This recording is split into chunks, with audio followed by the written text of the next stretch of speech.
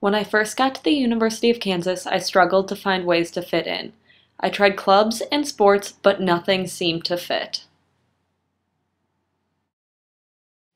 That is until I started volunteering at the Kansas Audio Reader. The Audio Reader allows me to give back to the Lawrence community by reading newspapers and magazines over broadcast to the visually impaired.